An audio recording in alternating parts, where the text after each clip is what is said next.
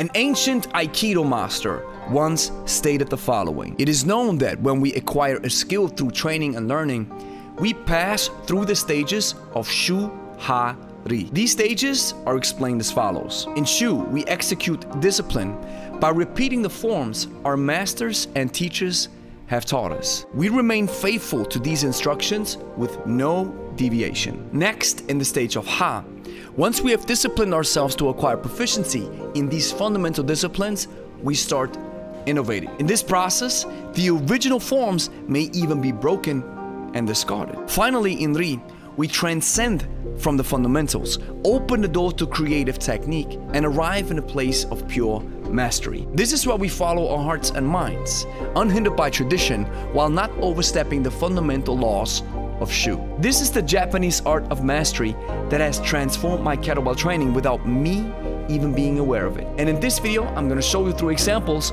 of how it happened. But before we get started, I want you to join our free 50K giveaway. Get a chance to win lifetime access to our online kettlebell courses valued over $2,000. Link is in the description. Grüezi miteinander, Gregory von Lebestark hier.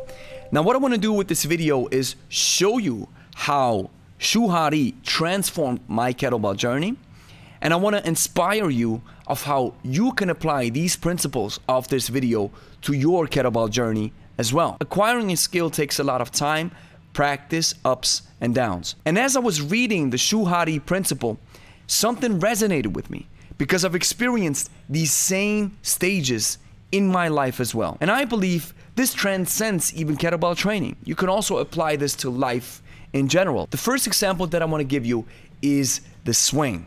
How I started, how we transformed, and how I transcended. The second example that I'm going to give you is the breathing technique. Again, I'm going to show you how I learned it, what happened, and how I transcended. My defining moment of Shu was when Steve Cotter visited my gym and certified Angie and me in June 2019. I would even say that there was a stage before Shu when I was just dabbling around with kettlebells, trying stuff out. So after the certification process with Steve, we went to work. We executed this discipline by applying the principles that were taught to us by working, training, and teaching on a daily basis. I even went back and rewatched his material, which enhanced my learning potential. It went through the roof, and I had a lot of aha moments. So my swing journey started with the following. Before Shu, my technique resembled something like this. Watch.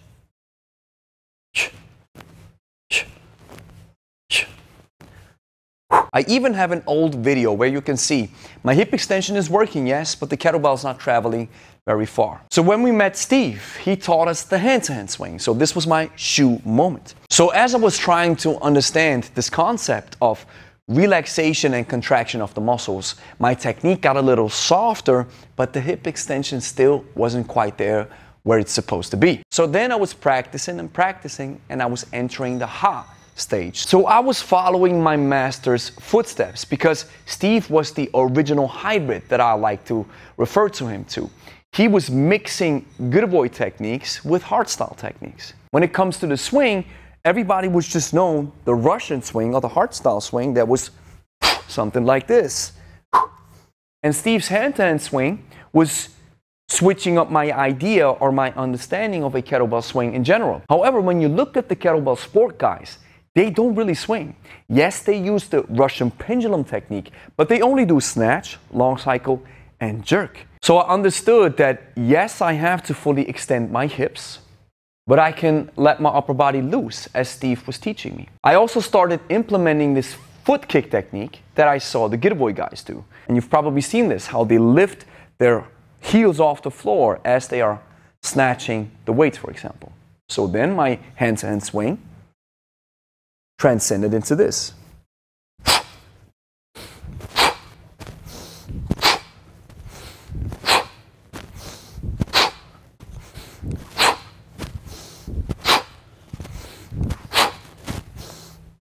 So this was my personal Shu Ha moment. And now that I'm developing and mastering my own Ri, so to speak, with this hand-to-hand swing variant, I also see other people adapting it.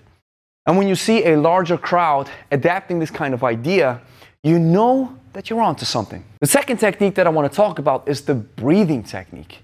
I'm going to demonstrate it with an exercise and I'm going to explain how I went through these different stages and how I ended up with our own RI technique that I call herb breathing. Since I've been working out for a longer time now, I always understood that I have to forcefully exhale or just exhale as I'm contracting the muscles or as I am finishing the lift. So my Shu moment was when I was learning new breathing techniques from Steve and also from the Hardstyle guys.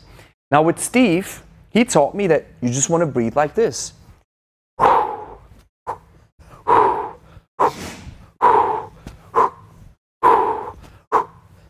Now, with the hardstyle guys, they breathe like this.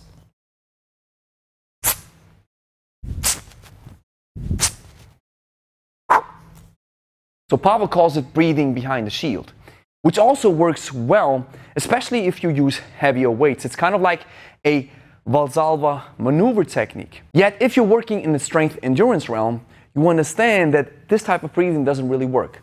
So my ha moment was using Steve's technique, using the Valsalva maneuver and using the power breathing method in different types of exercises or depending on what my intent was.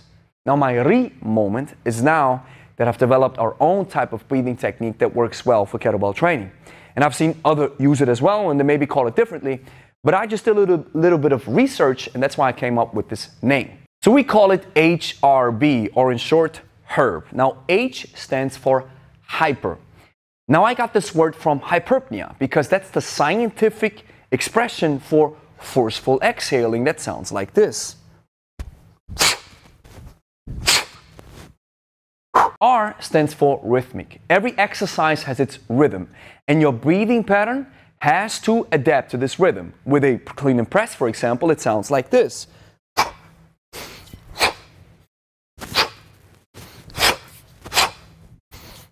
And the last letter B stands for breathing.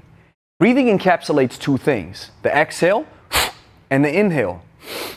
And yes, we inhale through the nose because this filters the air and dilates the blood vessels. That's exactly what we need when we train because we need more blood and more nutrients rushing through the system. It also captures the Valsalva maneuver to a certain extent.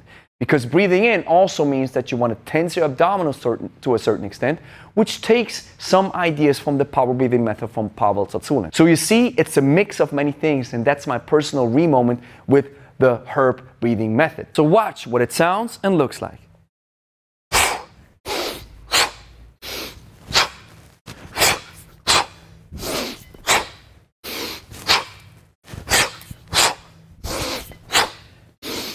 I hope I was able to explain how Shu Ha transformed my kettlebell journey and how you can use it in your life as well. The first thing that you want to do is realize your Shu moment. You need a trainer, a coach, a sensei to help you get started with the techniques. Execute discipline and work according to what was taught to you. Your Ha moment defines how you are executing the movement and you're finding new ideas and you maybe even discard certain ideas that have been taught to you before, not because they'Ri bad, but because they don't fit your program or your idea of training. And finally, we have the re moment where you transcend and now you develop new techniques, new ideas, while still respecting the laws and the fundamentals that have been taught to you. So here's the next thing that you have to do. Like the video, consider subscribing, share with a friend, and then go watch this video. We're all about kettlebells. And if you're interested in kettlebell training, you're just getting started and you're looking for a online Shu moment, that's the video for you. It's a basic tutorial with a basic workout that's gonna help you to get started immediately. So go watch it right now.